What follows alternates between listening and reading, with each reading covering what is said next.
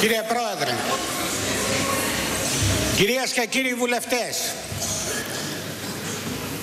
πριν αναφερθώ στο αντικείμενο της σημερινής συνεδριάσεως, να αναγγείλω ότι σύμφωνα με τα πρώτα exit poll που μεταδίδονται από τα κανάλια της Κυπριακής τηλεοράσεως, για πρώτη φορά στην ιστορία της Κύπρου αποκτά το Κοινοβούλιο εθνικιστές βουλευτές. Το Εθνικό Λαϊκό Μέτωπο είναι στη Βουλή της Κύπρου. Μιλάμε σήμερα για ένα μνημονιακό νομοσχέδιο. Και επειδή τα γραπτά μένουν, θα σας θυμίσω τι είχα πει.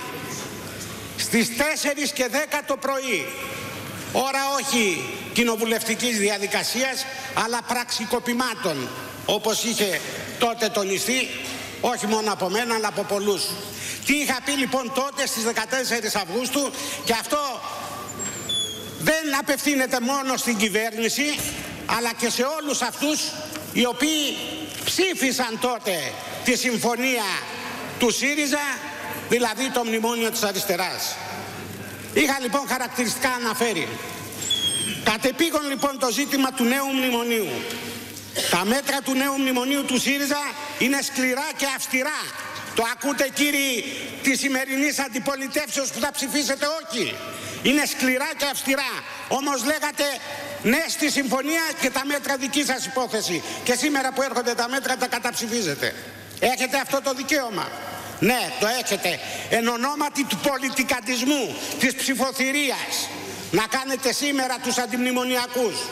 Το μόνο που δεν ακούσαμε.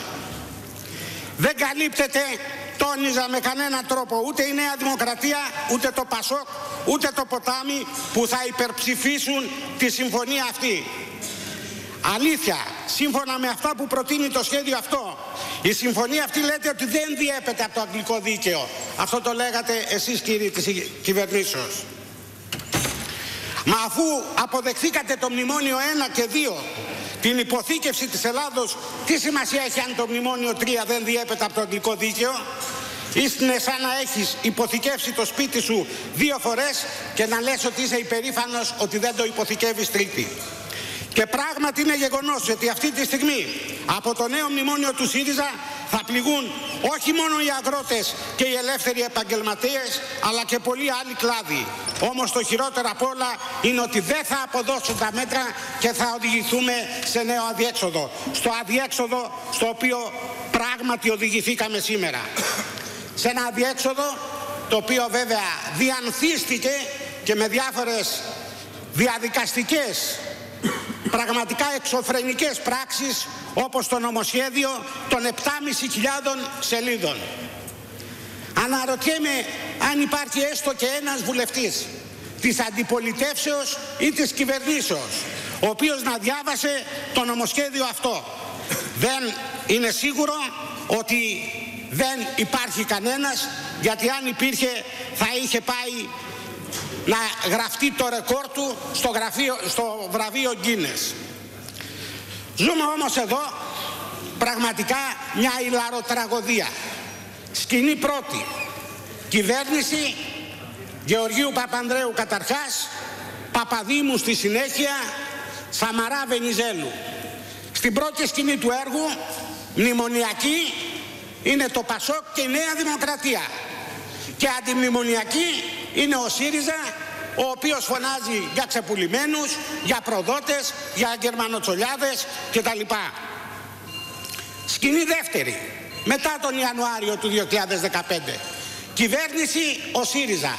Και μετά από λίγους μήνες αναμονής έχουμε πλέον τη Νέα Δημοκρατία να πιστεύει ότι αυτός ο λαός τρώει κουτόχορτο και ίσως ένα μεγάλο μέρος του να τρώει, ότι επικρατεί ο νόμος της λύθης και έτσι ξαφνικά βλέπουμε τη νέα δημοκρατία στο νέο αντιμνημονιακό της ρόλο. Μακάρι να είναι ειλικρινής, αλλά θα εξετάσουμε κατά πόσον αυτό έχει έννοια και πόσο είναι απλά μια μάχη εντυπώσεων. Είπε χθες ο συνάδελφος, ο κύριος Κουτσούκος του ΠΑΣΟΚ, αναφέρθηκε στο διεθνή οικονομικό έλεγχο. και είπε ότι θυμάται από τα χρόνια της νεότητάς του ότι υπήρχε το περίφημο μονοπόλιο. Θυμίζω ότι ο Διεθνής Οικονομικός Έλεγχος επευλήθη στη χώρα μας, στην πατρίδα μας, το 1898 μετά από έναν χαμένο πόλεμο, τον πόλεμο του 1897. Εδώ δεν είχαμε κανέναν χαμένο πόλεμο, αλλά είχαμε το χαμένο πόλεμο από τους νταβατζίδες, τους εργολάβους, τους εκμεταλλευτές του ελληνικού λαού που πολεμάμε συνέπεια και γι' αυτό την πολεμούν μόνο η Χρυσή Αυγή. Τότε λοιπόν, όπως είχε αναφέρει, επαναλαμβάνω ο κύριος Κουτσούκος, υπήρχε το μονοπόλιο στο αλάτι, στον καπνό, στο φωτιστικό ενόπνευμα και σε κάποια ελάχιστα άλλα είδη. Και ήταν σε σχέση με αυτά που υπογράφουμε τώρα, με τα μνημόνια, εξαιρετικά ανθρωπιστικός. Γιατί τότε έλεγαν ότι ο ελληνικός λαός καταναλώσει από αυτό το είδος θα πληρώσει αυτό το φόρο. Τώρα ζητάνε συγκεκριμένο ποσό, το οποίο ποσό, εάν δεν εκπληρωθεί, έρχονται άλλα πράγματα και συγκεκριμένα αρχίζουμε με τον περίφημο κόφτη, ο οποίος είναι δέσμευση την οποία θα ψηφίσει η Βουλή των Ελλήνων, ούτως ώστε εάν δεν αποδίδουν τα φοροεισπρακτικά μέτρα, τα οποία είναι βέβαιο ότι δεν θα αποδώσουν και θυμίζω επί του θέματος ότι η Ελλάδα, το κράτος το ελληνικό, έχει 87 δις να εισπράξει από τους πολίτες της και δεν μπορεί να τα εισπράξει. Πώς εσείς ελπίζετε ότι θα τα εισπράξετε και δεν θα υπάρξει ο κόφτης, αυτό είναι ένα θαύμα.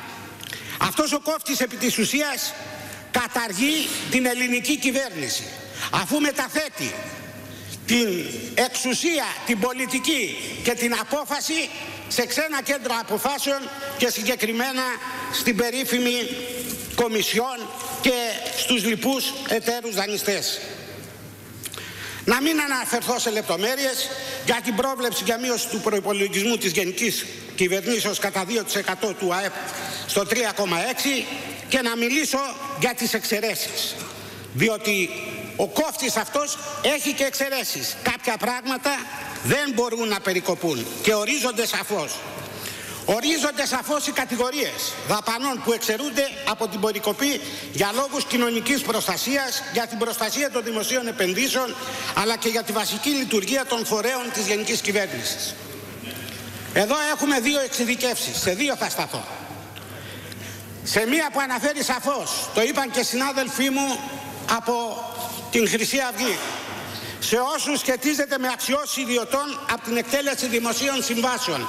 Πού παραπέμπει αυτό; Στην ευγενή τάξη των ταβατζίδων όπως την είχε αποκαλέσει ο πρώην Πρωθυπουργός, οι οποίοι συγχρόνως είναι εργολάβοι δημοσίων έργων, ιδιοκτήτες τηλεοπτικών σταθμών, εφημερίδων και ενίοτε και ποδοσφαιρικών ομάδων.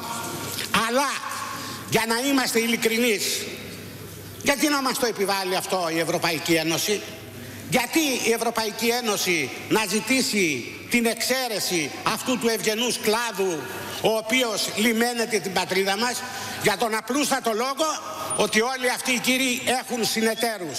Είναι κοινοπραξίες εταιριών, τεχνικών, όπου συμμετέχουν οι έντιμοι, οι έντιμοι έτσι μας λένε, οι Γερμανοί και οι Γάλλοι. Όλοι αυτοί που μας πουλήσανε σε τριπλάσια τιμή τα οπλικά συστήματα από την τιμή που στην πραγματικότητα είχαν και που έχει αποδειχθεί ότι δίνανε μίζες.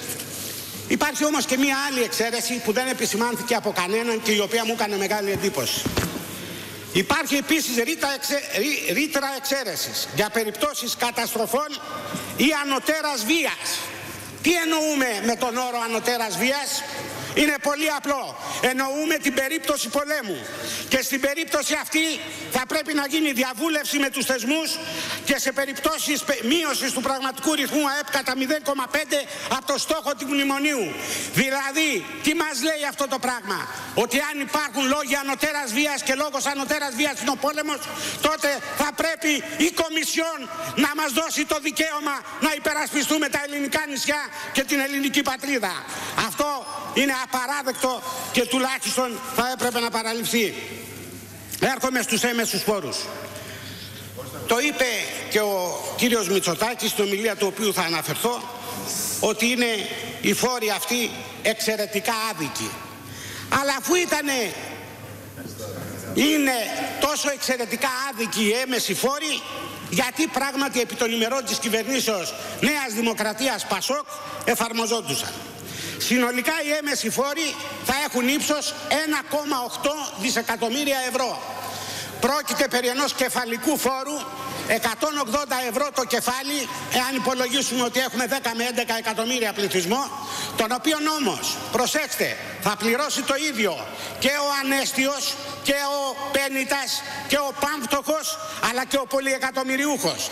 Αυτό λέγεται ισοπαίδωση, αυτό λέγεται αδικία, αυτό λέγεται καπιταλισμός. Μέσα στους έμεσους φόρους φυσικά υπάρχουν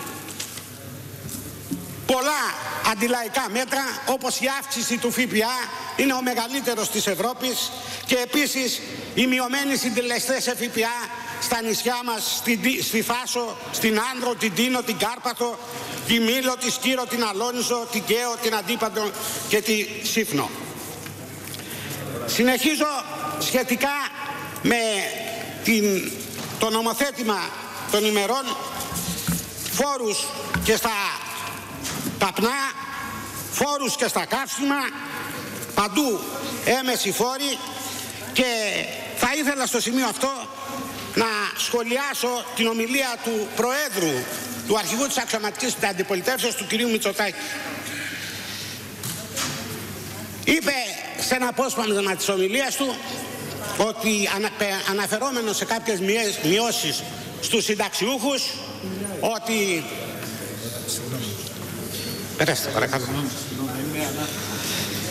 Είπε λοιπόν ο κύριος Μητσοτάκης αναφερόμενος σε μια μείωση μιας κατηγορίας των συνταξιούχων ότι χάνοντας 2.000 ευρώ χάνει την αξιοπρέπειά του. Ε όχι κύριοι. Η αξιοπρέπεια του ανθρώπου δεν εξαρτάται από τα χρήματα. Αυτή είναι μια άκρος νεοφιλελεύθερη άποψη την οποία θεωρώ απαράδεκτο. Ο ελληνικός λαός ήταν υπερήφανος ακόμη και όταν ήταν φτωχός, αλλά είχε την εθνική του κυριαρχία. Ο κόφτης είναι το μέτρο της δικής σας αναξιοπιστίας, είπε απευθυνόμενος στον Πρωθυπουργό τον κύριο Τσίπρα. Συμφωνούμε απολύτως. Τι θα κάνει όμως αυτός για τον κόφτη, δεν μας είπε. Δεν δεσμεύτηκε. Ακόμη τον πήρε το παράπονο γιατί ο Τσίπρας κάνει φιλελεύθερη πολιτική και κάνει και ιδιωτικοποιήσεις. Πραγματικά είναι άξιο συμπόνια στο γεγονός ότι αν τα ιδιωτικοποιήσει όλα ο Τσίπρας τι θα απομείνει πλέον για να ιδιωτικοποιήσει ο κύριος Μητσοτάκης και η κυβέρνησή του. Είπε ακόμη ότι ψηφίζουν ναι για κάποιες διατάξεις. Για ό,τι πρόλαβαν να το ξεπουλήσουν ψηφίζουν ναι.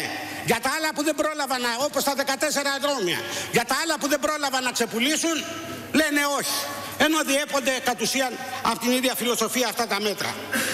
Και τόνισε ότι η κυβέρνηση πρέπει να φύγει το συντομότερο. Και αναφέρθηκε στη νέα κυβέρνηση της πενταετίας 2017-2021. Γλώτα λανθάνουσα τα λυθή λέγει η ομολογία ότι ο κύριος Μητσοτάκης πράγμα το οποίο στην πραγματικότητα συμβαίνει δεν θέλει εκλογές άκουσα προσεκτικά την ομιλία του καμία δέσμευση για κατάργηση αυτών των οποίων θα ψηφιστούν σήμερα καμία δέσμευση για όλα αυτά τα οποία προβλέπει το σημερινό νομοθέτημα το οποίο είναι πραγματικά εθνικά απαράδεκτο και οδηγεί στο ξεπούλημα της χώρας. Μίλησε για μια νέα πολιτική η οποία θα φέρει 4% ανάπτυξη. Ούτε λίγο το πολύ μας είπε ότι θα γίνει η Ελλάδα Κίνα. Για να γίνει όμως η Ελλάδα Κίνα χρειάζεται ο πληθυσμός της να τρώει και αυτός από μια κούπα ρύζι την ημέρα και να είναι ικανοποιημένος. Εάν μετατρέψει σε τέτοιο βαθμό τον ελληνικό λαό πράγματι ίσως έχουμε 4% ανάπτυξη. Έχουμε δύο κύρια θέματα, δυστυχώς ο χρόνος δεν φτάνει, το θέμα των κόκκινων δανείων και της παραχώρησης των κόκκινων δανείων στα περίφημα φάντς. Καταρχάς εδώ παίζεται μια κομμωδία. Σήμερα έρχεται να ψηφιστεί το νομοσχέδιο για τα κόκκινα φάντς. Μία εβδομάδα πριν έκανε δήλωση ο διοικητής της Τράπεζας Ελλάδος, ο κύριος Τουρνάρας, ότι είναι καλά τα ξένα φάντς και δεν θα βλάψουν την εθνική οικονομία. Και ήδη τα ξένα φάντς έχουν ενοικιάσει και γραφεία, έχουν κάνει και προσλήψεις υπαλλήλων. Φαίνεται ήταν σίγουροι. Και εδώ τίθεται το ερώτημα.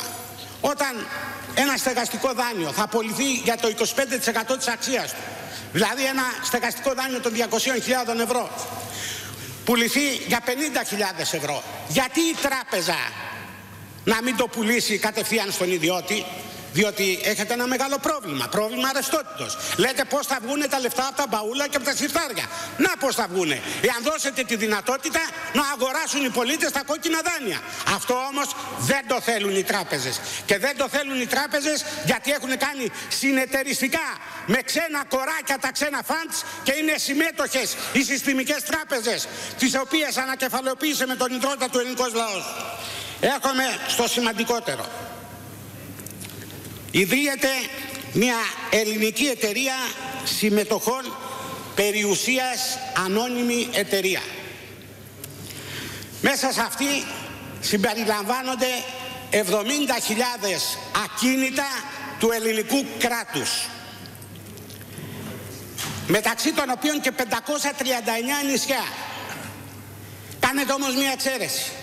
Δεν πουλάτε τον Αιγιαλό αφήνετε τις θάλασσες ελεύθερες. Ίσως για να πάνε να πνιγούν οι Έλληνες έτσι όπως κατάντησε την Ελλάδα η Νέα Δημοκρατία, το Πασόκ και ο ΣΥΡΙΖΑ. Δεν θα πω τα αυτονόητα, ελέγχθησαν εδώ δύο μέρες. Αυτή η ανώνυμη εταιρεία κατ' ουσίαν θα κατέχει την ελληνική πατρίδα και θα βρίσκεται στα χέρια ξένων. Θα ήθελα να τελειώσω λέγοντας δύο πράγματα να απευθυνθώ προς τους προηγούμενους κυβερνώντες Νέα Δημοκρατία και Πασόκ και προς τους σημερινούς κυβερνώντες του ΣΥΡΙΖΑ και να τους πω ότι παραλάβατε κράτος, κράτος, το κράτος του ελληνικού έθνους και το μετατρέπετε σε μια ανώνυμη εταιρεία. Εμείς η Χρυσή Αυγή δεν αναγνωρίζουμε αυτή την ανώνυμη εταιρεία και θα την πολεμήσουμε μέχρι να ξαναγεννηθεί το κράτος του ελληνικού έθνους. Εις ό,τι αφορά τον κύριο Μητσοτάκη, ο οποίος ισχυρίζεται και έχει δίκιο ότι καταστρέφεται η χώρα, ότι είναι εξευτελιστικό να ενοικιάζεται η ελληνική πατρίδα για 99 χρόνια, θα του πούμε το εξής. Τι είναι δύο μήνες μπροστά σε, σε 99 χρόνια, ένα τίποτε. Στις 27 Σεπτεμβρίου του 2013 στο περιστήλιο της Βουλής έκανα μία δήλωση ότι θα προκαλέσω εκλογές σε διάφορες περιφέρειες με την παρέτηση των βουλευτών της Χρυσής Αυγής. Την επόμενη μέρα συνελήφθη με διαδικασίες εξπρές. Εγώ και άλλοι πέντε συνάδελφοί μου. Ιδού λοιπόν δόξη στάδιο λαμπρό κύριοι της Νέας Δημοκρατίας εάν θέλετε μπορείτε να προκαλέσετε εκλογές στο 90% των εκλογικών περιφερειών της χώρας να ρίξετε την κυβέρνηση αφού θα πάρετε την πλειοψηφία από όσοι ισχυρίζεστε. Αλλιώς όλα τα άλλα είναι λόγια του αέρα και δεν θα κάνετε τίποτα άλλο και με τη σημερινή συμφωνία από ό,τι έκανε ο Σαμαράς λίγες ημέρες μετά την ανάληψη της εξουσίας όταν σε συνέντευξή του στον Πρετεντέρη είπε θα τιμήσουμε την υπογραφή μας και υπάρχει συνέχεια του κράτους. Αυτό θα κάνετε κι εσείς κύριοι της Νέας Δημοκρατίας. Θα τιμήσετε το μνημόνιο, θα τιμήσετε το ξεπούλημα της πατρίδας. Η Χρυσή Αυγή θα αντισταθεί.